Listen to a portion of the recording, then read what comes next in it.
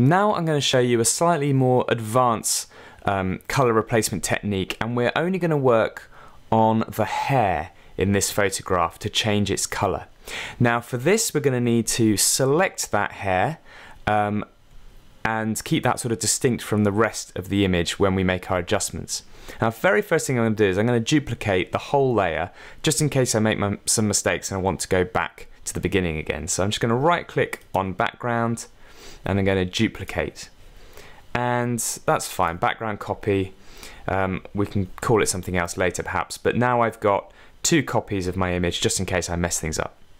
So the first thing I want to do is select just this hair. Now in PhotoPlus there's a number of selection tools. I can select rectangular spaces and shapes. I could do circles and different um, built-in quick selection shapes. But none of those are suitable for this hair. So I'm going to use some different tools. I'm in fact, the one I'm going to use is the Smart Selection brush. And this allows me to draw um, over the area that I want selecting. So I'm going to select that and notice I've got quite a small brush uh, but I'm going to zoom in just by scrolling with my scroll wheel. I'm going to zoom in on my image and as I start drawing around the outside of the hair, it starts expanding the selection to sort of cover areas of the hair. Now, this is quite a fiddly job and you want to take your time on it. If um, yours is selecting too much or too little of the hair, you can adjust the grow tolerance. So the higher the tolerance, the more um, the more similar pixels are going to be selected. So if there's too high, you'll end up selecting sort of the skin color when you're trying to select the hair. Um, if you take it too low, then it's it's going to only pick up very very similar colors. So 50 is not a bad value, but you might want to adjust it a little bit on yours. So take some time and keep drawing through and get the main um, bulk of the hair. And once you're nearly done, if there are any bits you want to actually remove, you can change the selection mode to subtract from selection, and then you can just draw in any bits that you've accidentally included. So once you've got most of the hair selected, um, we can just refine that selection just to make it a bit less jaggedy. So if we go to the select menu, we're going to do two things. Under modify, the first thing we're going to do is feather. And this just gives you a bit of a, a slightly fuzzy edge to your uh, selection so that our adjustments aren't quite so harsh. So we're going to click on that and we only want to feather by a few pixels. You'll see as you do it that your expansion kind of grows. So let's try maybe just three pixels. Press OK. And we also want to smooth it out. So let's go select, smooth, so that's select, modify and smooth. And again, maybe just maybe two pixels of smoothing this time. Okay, so we're now ready to apply our adjustments to this. So, if you don't see it already, go to adjustments over here. And we're going to go to colorize. So click on that. And you'll see that we get an adjustment layer created. And immediately we've got some changes to the color of the hair here. Um, so this adjustment layer has been created. I can click it on and off to get a sort of before and after effect. And I'm going to just use the hue control again just to try and find a slightly different color. So you could um, do all sorts of experimenting with this. You could saturate it right down and make it sort of quite grey hair. You could really pump the saturation up and have a very bright coloured hair. You could go all the way to sort of green or, or blue or pink hair if you wanted something totally different. Uh, but obviously, the more extreme, uh, the less subtle the effect, the more obvious it's going to be.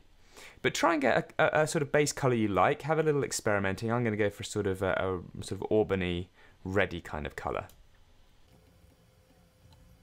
Now let's look at how we can just do a little bit more refinement.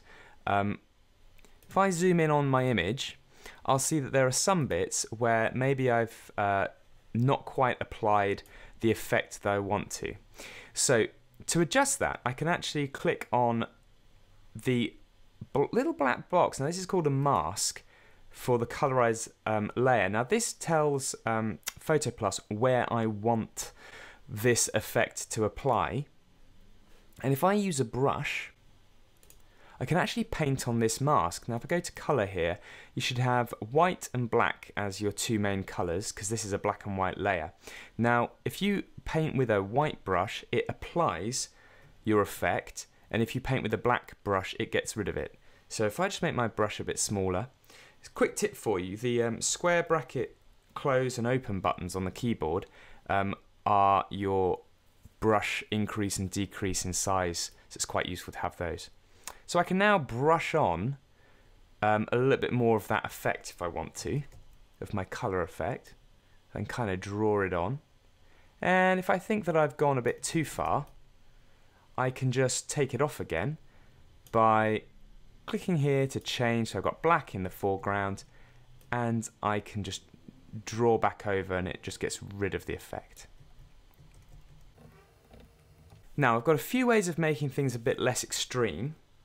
One of them is I can adjust the opacity, which is sort of the transparency of this layer, so that if we reduce that, you'll actually see some of the original hair colour come through from underneath, and that helps it sort of blend a bit better. So let me zoom out.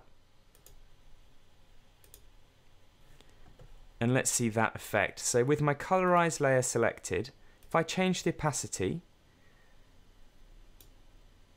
you'll see that the effect that I've applied now is much more subtle.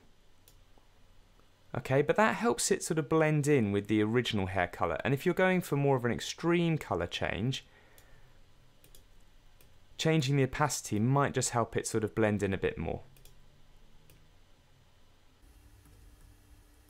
But another thing you can do is you can actually change the blending mode. Now, there are lots of different blend modes, and um, it's sometimes quite difficult to understand exactly what effect they're going to have. So one of the best methods is just to play with them.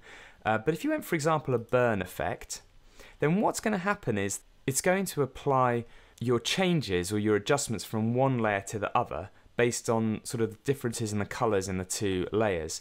So again, this can be quite good for applying uh, your color changes in a way that don't affect the rest of the image so much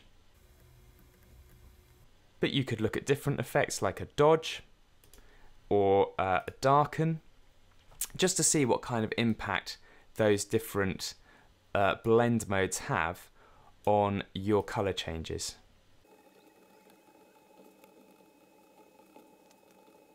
And the rest really just comes down to experimenting with different hue, saturation, lightness, and a few different blend modes. I'd recommend trying multiply and burn um, as good starting points for some good effects.